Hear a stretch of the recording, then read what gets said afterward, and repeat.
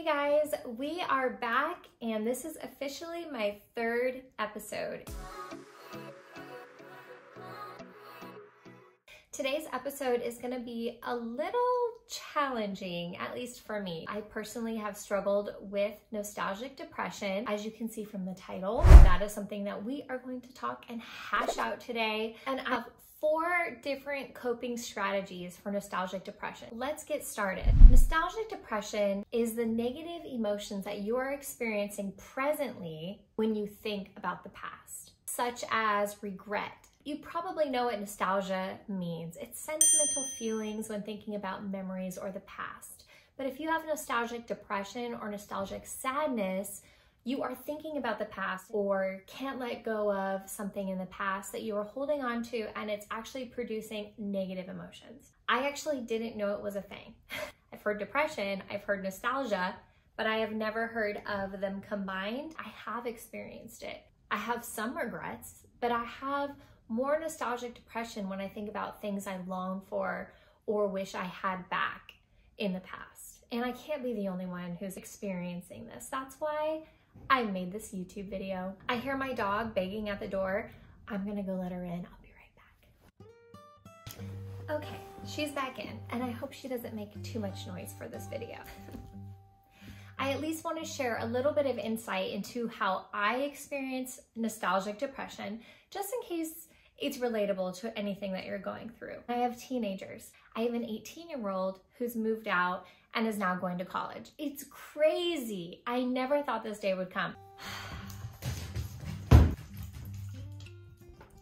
First of all, I'm experiencing some reminiscing because my firstborn has moved out. And when I look back and I long for the days when all three of my kids were younger, I miss those days so much. I was blessed at that time when they were young to not have to work. I was able to be home with them, raise them. I was with them all the time. When I was going through those motions, I didn't realize how much of an impact it was having on my life. And the older they get, the harder it is for me to let go of that. I never thought I was going to be one of those moms that really struggled with empty nesting. Although two of them are still here in our house, it's just challenging because they're teenagers. so something else without going into too many details. I have been through a divorce. It is very traumatic. Another thing is I've moved a lot. When you've lived in a certain place for a certain period of time where you have a level of comfort and then you up and move. Let's say there's things about the new place that are not easy or they don't have the same comfort level or they don't have the same people or your family. You can long for those days where you used to live, for that town, for those people, for just the comfort of home. I have found that I struggle with feeling depressing thoughts about my current situation. I don't really so much anymore, but I have experienced that before, so that might be something that you can relate to. It could be a death of a close relative or friend that you love. You can look at those memories and be filled with sadness, regret, joy. When it starts to affect your present in a negative way, that's when it becomes nostalgic depression. So, number one, choose appreciation for the present. This is a mindset. I think it's so important. It is a choice to think about the things that you're thankful for right now. My husband and I like to go on nightly walks. We don't do it every day. We try to. We have a dog, so it's like an excuse, but personally, I need those walks. I love those walks. One of the things that we like to do is tell each other a few things we're thankful for. It can be as simple as I am so grateful that I get 10 minutes to go walk outside. I'm so grateful that I live in a free country. I'm so grateful for you. Train your mind to be thankful. I'm not going to be thinking about anything that I'm sad about. I'm not going to be longing for something in the past in that moment. Me longing for things in the past was actually keeping me from being grateful for what I have today. For example, my son who's in college. I miss him. He lives so close, but he's so busy going to school. I'm busy with work. Sure, I miss him and long for him and sad that he's not home anymore, but I can be appreciative that he's going to college. I can be thankful that he got a scholarship. I can be thankful that he really cares about his school and he's doing great and he's studying hard. If you've been through a traumatic experience, I'm so sorry. And I might not be able to personally relate, but I have been through some traumatic experiences myself. One thing that I can at least say I'm thankful for is the newfound strength that I have because of things I've been through. That might not heal 100% of any of the trauma you've experienced, but it's one step closer to healing. Being grateful for who you are today.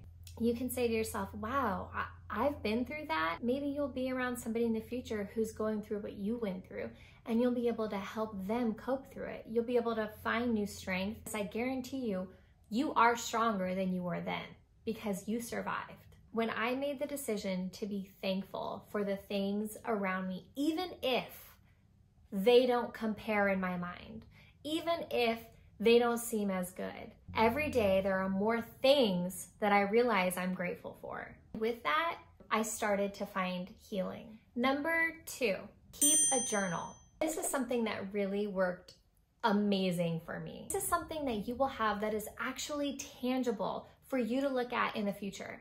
One thing that I do when I feel nostalgic depression is I look back on my journal and I'm able to see the struggles that I was experiencing, that it wasn't all sunshine and rainbows like my mind is tricking me into thinking it was. If I'm disappointed in my present and I start longing for my past, I need to remind myself that my past wasn't all amazing. It was challenging. There were hardships. There was depression there was unsatisfaction and discontentment. It's a really good way for your future self to look back on today and remember how many good things you had in your life now. If there was someone in your life that you lost, you'll be able to look back and go, wow, I had such a great relationship with that person. Wow, that person taught me so much.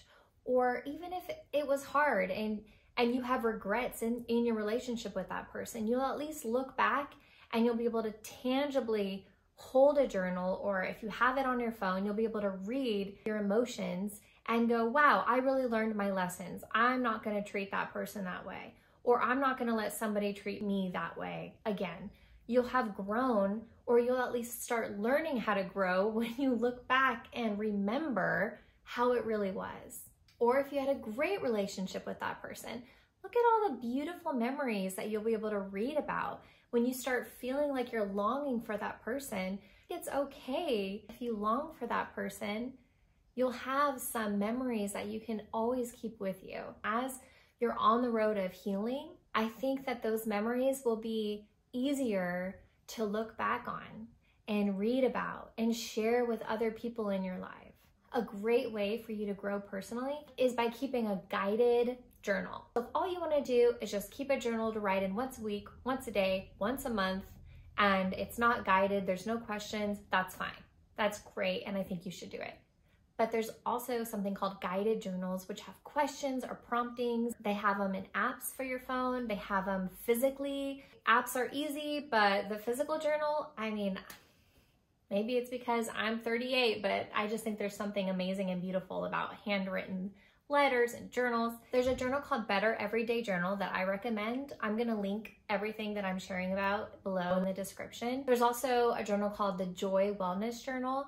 These two I'll link. These are physical journals. There's also journal apps that you can keep. I used to write in one called Day One. There's also one called Prompted Journal. These are apps that you can download on your phone. Again, I'll link them in the description for you. I would just do it even if you only write in it 10 times, your future self will enjoy looking back and reading them.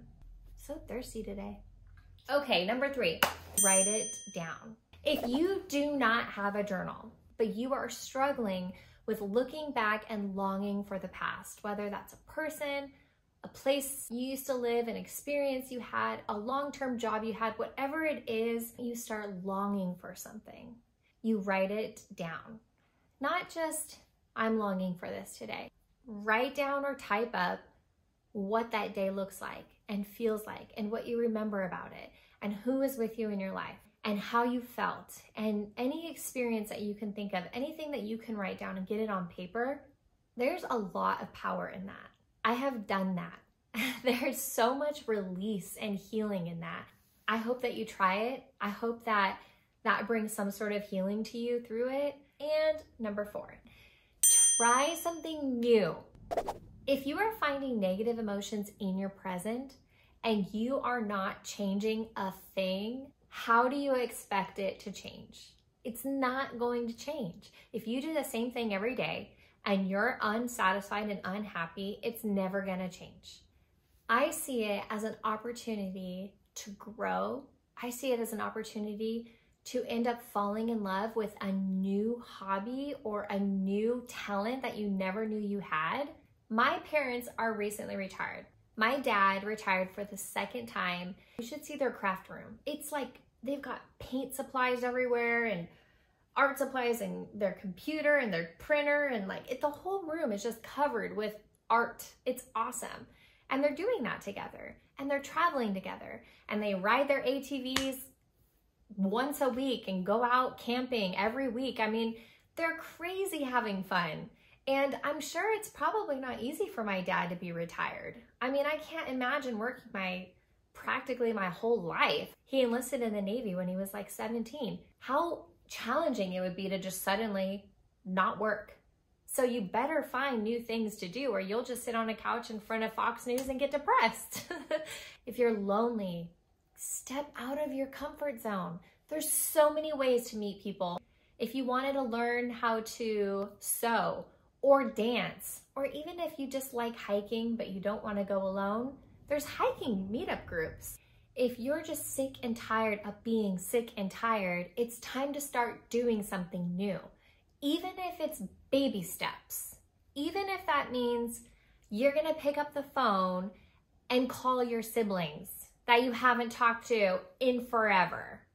Or something crazy like skydiving. Do something new to branch outside of your comfort zone if you want to experience change. Sometimes just being around other high energy, happy people is all you need to find some growth and healing. Well, that is all I have for you today. I'm so sorry if this was such a hard video. I promise not all my videos are gonna be like heavy. If I helped just one of you, that made my day. I just wanna know I'm not alone and you're not alone. Until the next video, I hope you have an amazing week. If you like this video, please like and subscribe, share. Really appreciate it. Until the next one.